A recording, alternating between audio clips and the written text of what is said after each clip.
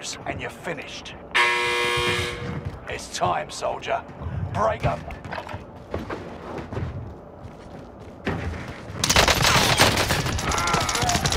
Well done. Now get back out there.